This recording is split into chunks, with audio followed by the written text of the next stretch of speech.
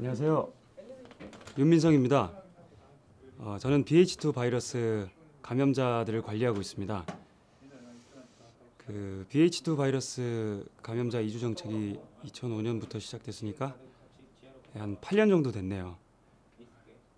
근데 좀 사실 좀 찜찜하죠. 뭐 정부에서 발표를 했어도 아직 찜찜한 건 찜찜한 거니까 그 뭐라 그래야 되죠? 그, 그 경계?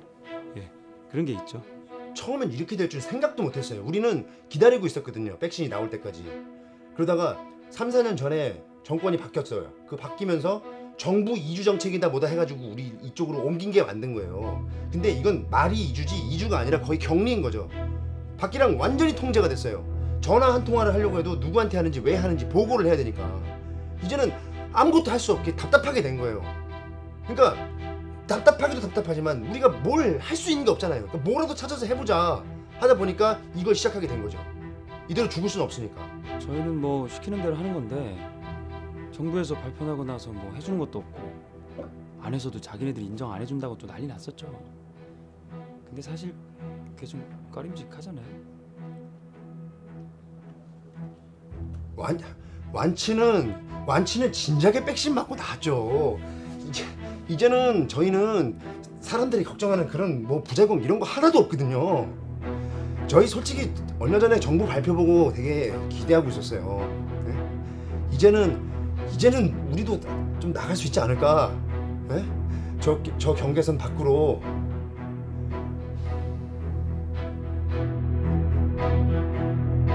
중증 급성 호흡 증후군의 변종으로 코로나 바이러스 RNA 유전 물질이 호흡기로 침범해 일으키는 질병입니다.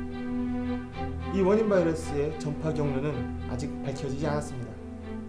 774명의 사망자를 발생시켰던 BH1과 유사하지만 BH2는 하나 더 신경계에 손상을 주죠. 정부는 이미 오래전부터 더 이상 BH2가 존재하지 않는다는 사실을 알고 있었습니다. 그럼 알면서도 감염자들을 그렇게 방치했단 말씀이신가요? 국제적으로 이 문제가 다시 한 번 더 이슈가 되지 않게 타이밍을 노렸다고밖에 할 수 없겠죠. 사람들이 살지 않는 섬으로 보내야죠. 산 사람들은 살아야 되지 않을까요? 왜 감염자들 때문에 일반인들까지 피해를 봐야 되는 건가요?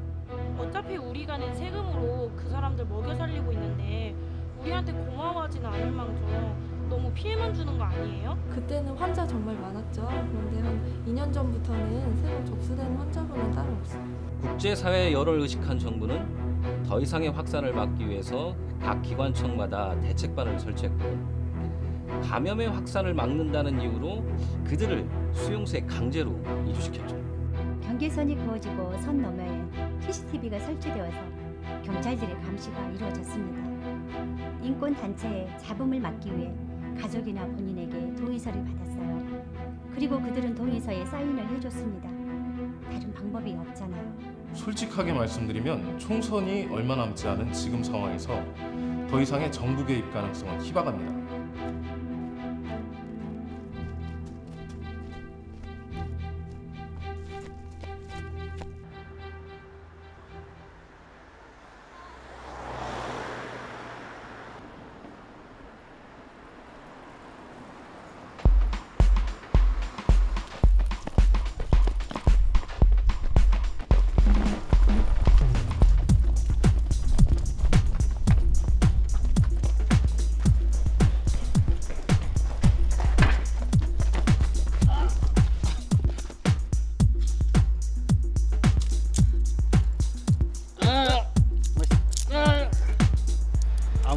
물리적인 유혹보다는 심리적인 유혹이 더하죠. 방역 시설을 갖춰서 수감을 할 수 있는 상황도 아니고 다른 수감자들의 반발도 있고 방금 말했지만 어려움이 참 많습니다. 감염자들의 강제 수용 후 전염의 확산이 줄어든 건 사실입니다. 그건 부정할 수 없어요. 신입이 이런 큰 프로젝트를 혼자 해보는 것도 도움이 될 것 같았어요. 다른 이유에서라보다는 민성 씨가 적임자이기도 하고요.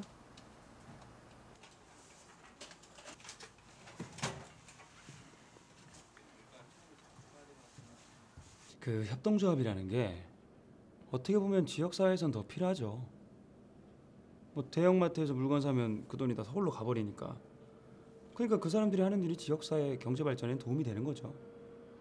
뭐 요즘에 안보도 불안하고 그 여파로 막 고철값도 오르고 있고 관련 범죄까지 늘어나다 보니까 뭐 이래저래 잘 된 것 같아요.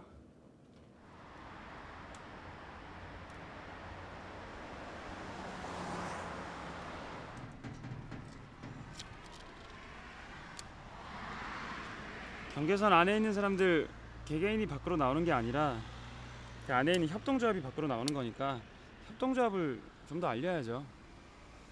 뭐 이렇게 해서 알려질지는 잘 모르겠지만 뭐 일단은 시작한 지는 한 2, 3년 정도 됐죠. 하, 처음엔 진짜 힘들었어요. 사람들이 제 얘기를 들으려고 하진 않는 거예요. 어?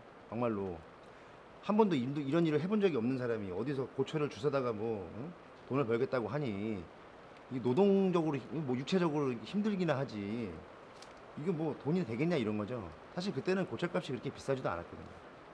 근데 저는 계속 드는 생각이 이거야말로 우리가 정말 어? 정당하게 밖으로 나갈 수 있는 유일한 어떤 비상구가 되지 않겠냐 하는 저 그런 희망이 계속 들더라고요.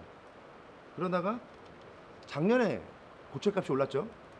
그때서부터 이제 재미가 생기는 거예요. 사람들도 많이 모이고 활기를 띠기 시작한 거죠. 그러니까 이제는 어떻게 하면 우리가 제도권 밖에 나갔을 때 더 확실하게 우리의 영역을 지킬 수 있을까? 이제는 그런 생각을 하게 되는 거죠. 어차피 가족들이야 남 모르고도 잘 지내왔던 거고 이 안에 있으면서 진짜 많이 배운 것 같아요.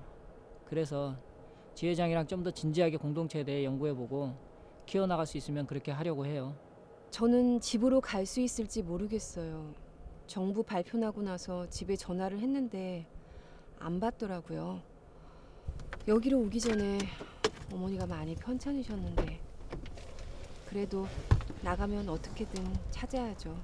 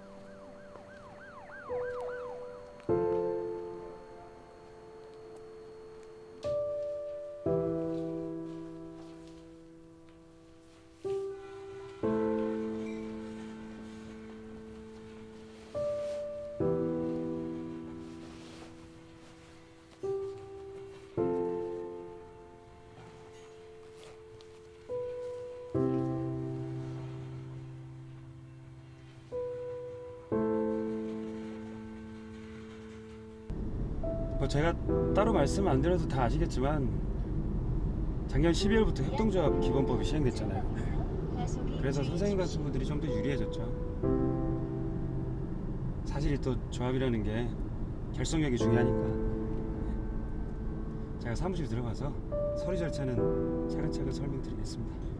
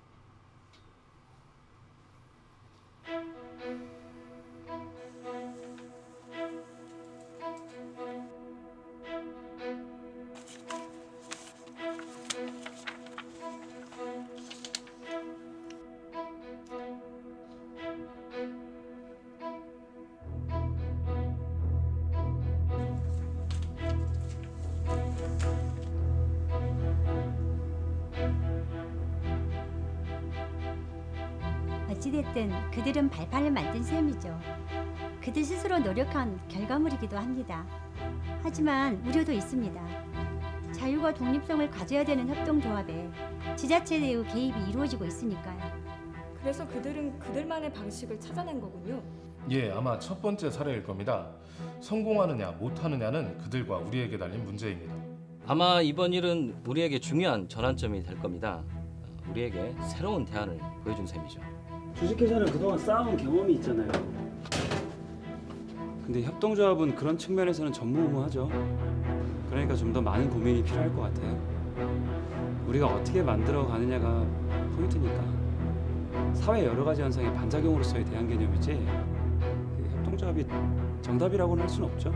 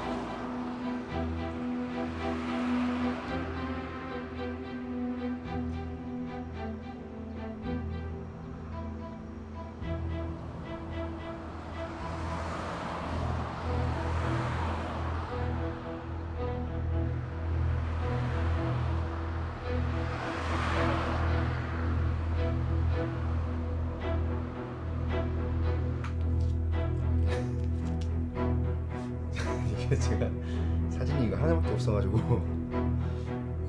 우리 집 사람인데요.